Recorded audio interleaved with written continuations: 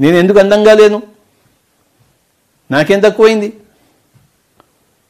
ఒక చీమను చూసి ఒక ఏనుగు గొప్ప అని అనుకోవాలా? ఒక ఏనుగుని చూసి ఒక చీమని నేను తక్కువ అని అనుకోవాలా? రెండు మూర్ఖతలే కదా. ఎవరితోనో పోల్చుకోవడం అనేది ఎంత మూర్ఖత కదా? ఆ పోల్చుకోవడం అనేది బుద్ధి లేనితనం కదా. ఎవరితోనూ పోల్చుకోకపోవడమే బుద్ధి ఉన్నతనం కదా? ఎందుకు మనం బుద్ధి ఉన్నతనంలో ఉండం? బుద్ధుడు అంటే బుద్ధి ఉన్నతనం ప్రబుద్ధుడు అంటే బుద్ధి లేనితనం అన్నీ ఉన్నాయి కనుక మనకి బుద్ధి లేదు బుద్ధి లోపించింది. శరీరం ఉంది మనస్సు ఉంది కుటుంబం ఉంది పరివారం ఉంది గాలి ఉంది వెలుతురు ఉంది నీరు ఉంది కళ్ళు ఉన్నాయి చెవులు ఉన్నాయి వేళ్ళు ఉన్నాయి వేళ్ళకి గోళ్ళు హాయిగా ఉన్నాయి కానీ బుద్ధి లేదు.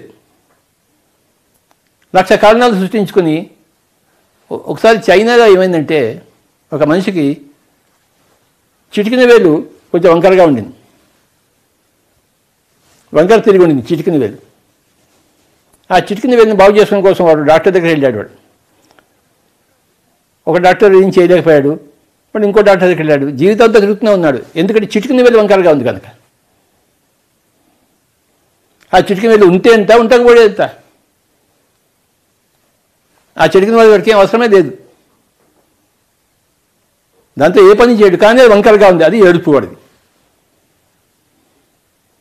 ఎవరిని చూసినా తన చేతిని దాచుకునేవాడు. ఎందుకంటే వాడు నా చిటికిన వేలు చూస్తే వాడు నన్ను అవమానించినట్టు కదా. వాడి జీవితం అంతా కూడాను ఆ చిటికిన వేలు కోసం ఏడ్చి ఏడుస్తూనే జీవించాడు. అది ఆ చైనా వాడి కదా అంటే వాడికి అక్కడ ఏం లోపించింది? బుద్ధి లోపించింది. మా ఫాదర్కి వాడి కొలీగు ప్రమోషన్ వచ్చి దానికి సంతోషించాడు కానీ దానికి ఏడ్చాడు పక్కవాడు బాగుంటే మనం ఏడుస్తాం. పక్కవాడు చెడిపోతే మనం బాగుపడినట్టు మనం అనుకుంటాం. ఎంత విపరీత ధోరణి కదా. పక్కవాడు బాగుంటే మనం ఎందుకు బాగు ఉండకూడదు? పక్కవాడు బాగుగా మనం బాగులేదేంటి ఈ బుద్ధి లేని తన వల్ల లోకం అంతా దుఃఖంలో ఉంది. ఈ లోకానికి దుఃఖాన్ని నీకు భయపడడం కోసం కారణాలు వెతుక్కోవడం కోసం సత్యాన్ని తెలుసుకోవడం కోసం ఆయన బయలుదేరాడు. బయలుదేరిన పని అయిపోయింది. ఏమైంది? బుద్ధిని తెచ్చుకున్నాడు. బుద్ధుడు అయ్యాడు. నాయనా నేను బుద్ధిని తెచ్చుకున్నాను. నువ్వు కూడా బుద్ధిని తెచ్చుకో నాయన అంటున్నాడు. నేను బుద్ధిని తెచ్చుకున్నాను. నువ్వు కూడా బుద్ధిని తెచ్చుకో.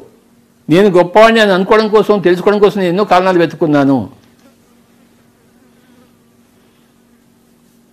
నేను అందంగా ఉన్నా లేకపోతే నేను గొప్పవాడిని. నేను ఆడగా ఉన్నా మగ్గగా ఉన్నా నేను గొప్పవాడిని. నేను డబ్బు ఉన్నవాడిని అయినా డబ్బు లేనివాడైనా నేను గొప్పవాడిని.